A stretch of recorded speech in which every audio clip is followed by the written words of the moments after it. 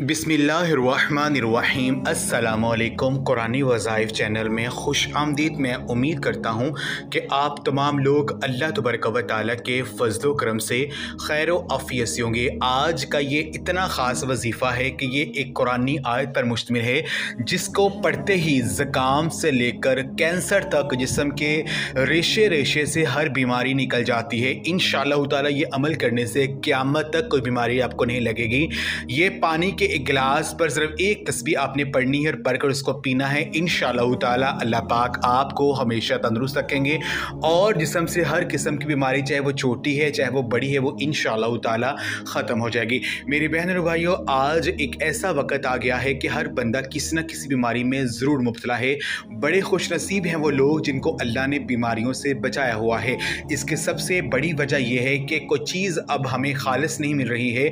हर चीज़ में दो का दो नंबरी फ़्रॉड है और दूसरा ये है कि जो चीज़ें हम खाते हैं, जैसे गंदम हो गई, देसी चीज़ें और चावल वगैरह हैं, वह, वो खालस नहीं है।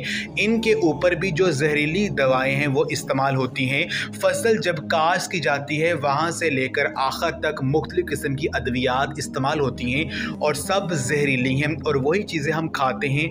ज़ाहिर है, इनसे बीमारियाँ ही पैदा होनी है और इन सब बीमारियों से बचने के लिए मैं आपको एक मुख्तसर आसान सा वजीफ़ा जो है वो बताना चाहता हूँ, वो वजीफ़ा ख्वा बीमारी को बड़ी है या छोटी बीमारी है इन ताला हर किस्म की बीमारी जो इस अमल को करने से वो ख़त्म हो जाएगी। जब हम किसी चीज़ को छोटी समझ कर छोड़ देते हैं तो फिर परेशान होते हैं। किसी गुनाह को भी हम ये समझे कि ये छोटा सा गुनाह है, वो छोटा करते करते फिर बड़े बड़े गुनाह करने लग जाते हैं। शैतान जहन में ये डालता है कि ये तो मामूली सा गुनाह है, इससे कुछ भी नहीं होता। फिर वो बड़े बड़े गुनाह भी सामने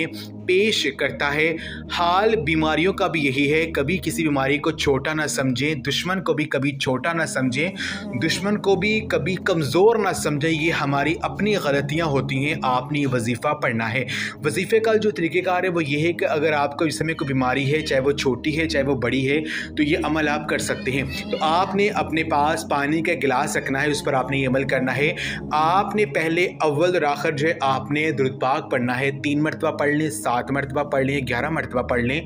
उसके बाद आपने एक तस्वीर सौ दानों वाली ये आयत जो मैं आपको अभी पढ़कर सुनाऊँगा, इस आयत को आपने जो है सिर्फ़ एक सौ मरतबा आपने पढ़ना है। ये छोटी सी आयत है, ये इतनी मुजरब आयत है कि जब इसको पढ़ेंगे तो इसके मौजा देकर आप हैरान हो जाएँगे। आयत ये है, वाइज़ा मरजदू फ़ाहोवा यशफीन। वाइज़ा मरजदू फ़ाहोवा यशफीन, इस आयत का मफहम यह है कि और जब मैं बीमार होता हूँ तो मेरा अल्लाह ही मुझे शिफा देता है। ये छोटी सी आयत है, ये दुआ हज़ी इब्राहीम अलैहिस्सलाम की दुआ है कि जब मैं बीमार होता हूँ तो वही मुझे शिफा देता है, अल्लाह ही शिफा देता है। आप जब सौ दफ़ा इस आयत को पढ़ेंगे, मैं बीमार होता हूँ तो अल्लाह ही शिफा देता है। तो यकीन कीजिए, जब ये बंदा कहता है तो अल्लाह तबारक व ताली जो अपने बंदे को शिफायाब बना देते हैं और अपने बंदे की बीमारी को दूर कर देते हैं। क्योंकि इस आयत में जब आप पूरे यकीन के साथ अल्लाह पाक को ये पुकारेंगे, जब मैं बीमार होता हूँ तो अल्लाह तबरक तारा ही मुझे शिफा देते हैं। तो अल्लाह पाक ये फरमाता है कि ये इसका ये यकीन का अमल है तो मैं इसे ज़रूर शिफा दे देता हूँ। तो आपने एक तस्वीर सौ दानों वाली इस आयत की पढ़नी है, उसके बाद आपने ग्यारह मरतबा सूरत फातहा, जिसे कुरान पाक, जो कुरान पाक के पारा नंबर एक में मौजूद इसे सूरत शिफा भी कहा जाता है, आपने ग्यारह मरतबा सूरत फ़ातिहा को पढ़ना है। और आखिर में फिर दूध पाक पढ़कर अल्लाह पाक से आपने दुआ करनी और उस पानी पर आपने फूंक मार देनी है, वो पानी आपने पी लेना है।